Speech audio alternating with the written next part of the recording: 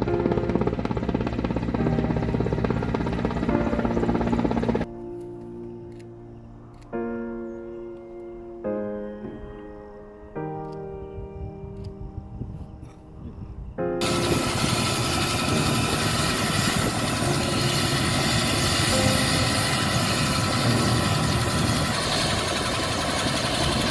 मंडी जिला के सराज विधानसभा क्षेत्र के दुर्गम स्थानों की रोड कनेक्टिविटी कट जाने के बाद केंद्र सरकार द्वारा यहाँ रेस्क्यू ऑपरेशन और राहत सामग्री के लिए भेजे गए भारतीय वायुसेना के मी 71 हेलीकॉप्टर का ऑपरेशन पाँच दिनों तक चलने के बाद आज संपन्न हो गया।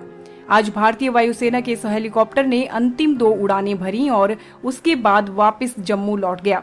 प्रशासन की तरफ़ से इस ऑपरेशन को संभाल रहे एसडीएम सदर ओम कांत ठाकुर ने प्रशासन की तरफ़ से भारतीय वायुसेना का आभार जताया। उन्होंने कहा कि पाँच दिनों में हेलीकॉप्टर ने 23 बार उड़ानें भरी 34 टन राशन, दवाइयाँ और हाइजीन किट दुर्गम स्थानों तक पहुंचाई।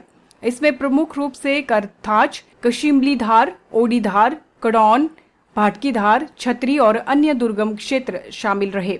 पूरे ऑपरेशन के दौरान चार मरीजों को भी एयरलिफ्ट किया गया। हेलीकॉप्टर पर राशन लोड करने और हेलीपैड पर सारी व्यवस्थाएँ देखने में रेड क्रॉस और एनसीसी सहित 100 से ज़्यादा लोगों की टीम मौजूद रही। इसके साथ ही wing commander Irfan Jariyal, wing commander Ankit Sood, flight engineer Manoj और अंकित सहित अन्य लोग शामिल रहे। ये मंडी जिला प्रशासन की तरफ़ से और रेड क्रॉस की मदद से और भारतीय वायुसेना के हेलीकॉप्टर के थ्रू जो है हमने बाली चौकी, गोहर, थुनाग वाले एरिया में जो कम्प्लीटली कट ऑफ़ हो चुके थे, वहाँ पे हमने राशन गिरवाया। लगभग जो है टोटल 36 टन राशन जो है अभी तक गिराया गया है। और आज ये according to D D M authority ये जो है मिशन अभी बाई एयर जो है उसको कंप्लीट कर दिया गया है। हमने उन्हें डी रिक्विजिशन लेटर भी दे दिया है।